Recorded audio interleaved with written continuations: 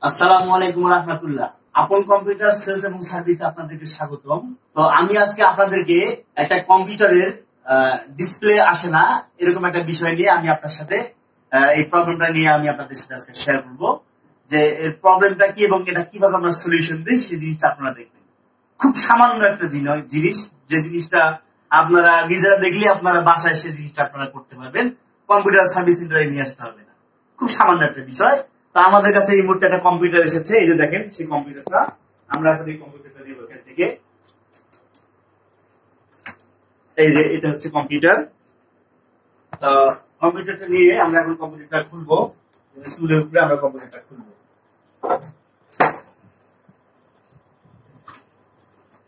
সাধারণত কম্পিউটারে যদি ডিসপ্লে না আসে, তো সেই ক্ষেত্রে আমাদেরকে যেটা করতে হবে, সর্বপ্রথম আমরা কম্পিউটারটা ওপেন করব? ওপেন করার পরে আমরা হ্যাঁ করব, দেখেন যে আমি কম্পিউটারটা পাওয়ার দিচ্ছি।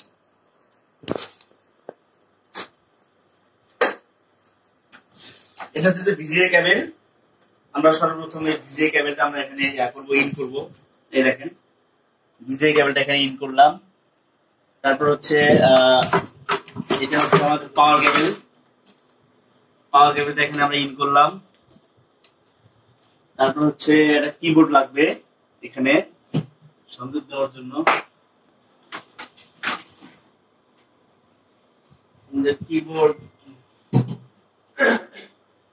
এই যে আমাদের এখানে কিবোর্ড আছে। তো আমরা কিবোর্ডের সংযোগ দিলাম। তারপর একটা মাউস লাগবে। এই যে আমাদের এখানে একটা মাউস আছে। মাউসের সঙ্গে সংযোগ দিয়ে আমরা এখন সেটা অন করব। এটা হচ্ছে মনিটর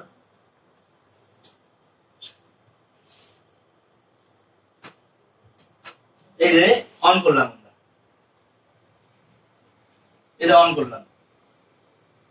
অথচ ডিসপ্লে আসতেছে না। অন করলাম অথচ ডিসপ্লে আসতেছে না। তো সেক্ষেত্রে আমরা কি করব? সেক্ষেত্রে আমরা পাওয়ার কেবলটা আমরা খুলে ফেলব। খুলে আমরা এই কেসিংটা খুলে ফেলব। এখান থেকে আমরা কেসিংটা খুলে ফেলব। সাধারণত দুই, তিন, চারটা কারণে আপনার ডিসপ্লে আসে না। আমরা যে জিনিসটা পেয়ে থাকি আর কি, যে র্যামের প্রবলেম হলে ডিসপ্লে আসে না, অথবা প্রসেসরে যদি প্রবলেম থাকে, সেক্ষেত্রে ডিসপ্লে আসে না, বা বায়োস ব্যাটারিতে যদি প্রবলেম থাকে সেক্ষেত্রে ডিসপ্লে আসে না, অথবা মাদারবোর্ডে যদি প্রবলেম থাকে, সেক্ষেত্রে ডিসপ্লে আসে না। তো সর্বপ্রথম আমরা কি করব? আমরা সর্বপ্রথম যে র্যামটা আছে র্যামটা খুলে আমরা একটু বসে র্যামটা আবার লাগায় দেখব। ডিসপ্লে আসে তো এভাবে আমরা ঢাকনাটা খুলবো কম্পিউটারের ঢাকনাটা খুলে আমাদের এখানে যে র্যামটা আছে, আমরা এভাবে র্যামটা খুলবো। র্যামটা খুলে আমাদের এখানে রাবার আছে। আমাদের এখানে রাবার আছে, আমরা রাবার দিয়ে র্যামটাকে ভালোভাবে পরিষ্কার করব। এভাবে রাবার দিয়ে আমরা ভালোভাবে পরিষ্কার করে নেব র্যামটা ভালোভাবে পরিষ্কার করে নিয়ে তারপরে আমরা র্যামটা এখানে মাদারবোর্ডের সাথে লাগাবো। এভাবে পরিষ্কার করে আমরা র্যামটা এখানে মাদারবোর্ডের সাথে লাগাই নেব। আর র্যামটা লাগানোর সময় অবশ্যই আমরা ভালোভাবে চাপ দিয়ে লাগাবো কারণ র্যামের যদি কোনো ডিসপ্লেস হয়ে যায়, সেক্ষেত্রে মাদারবোর্ডটা ড্যামেজ হয়ে যাওয়ার সম্ভাবনা আছে। এই যে র্যামটা লাগাই দিলাম আর আমরা যখন পাওয়ার দেবো, সেক্ষেত্রে আমরা হার্ড ডিস্কের কানেকশনটা খুলে নেব। হার্ড ডিস্কের এই পাওয়ার কানেকশনটা আমরা খুলে নেব। কেন ডিসপ্লে নাও আসতে পারে? তো সেই ক্ষেত্রে অন অফ করার কারণে হার্ড ডিস্কে ব্যাক পড়ে যেতে পারে। ওই জন্য আমরা হার্ড ডিস্কের কেবলটা খুলে নেব।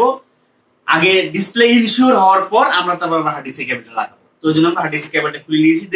দেখি ডিসপ্লে আসে কিনা। তো আমরা আবার কি করব? এই যে পাওয়ার কেবলটা আমরা আবার এখানে লাগাবো। পাওয়ার সাপ্লাই পাওয়ার কেবলটা দেবো। এই যে এখানে। দিয়ে এখন আমরা আবার অন করব।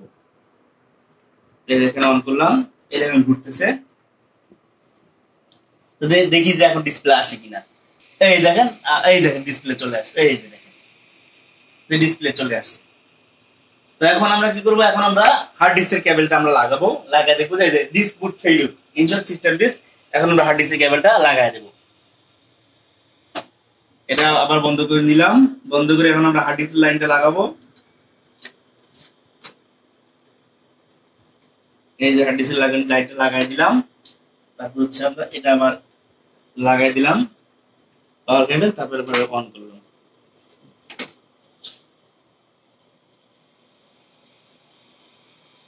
এই দেখেন ডিসপ্লে চলে আসছে।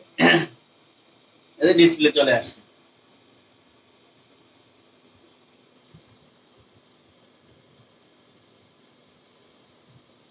তো সাধারণত এই প্রবলেমগুলো আমাদের সচরাচর হয়ে থাকে। তো আমরা সর্বপ্রথম যে কাজটা করব, সর্বপ্রথম হচ্ছে আমরা র্যামটা খুলে র্যামটা খুলে, র্যামটা মুছে লাগাই দেবো, অথবা প্রসেসরটা খুলে প্রসেসরটা মুছে লাগাই দেবো।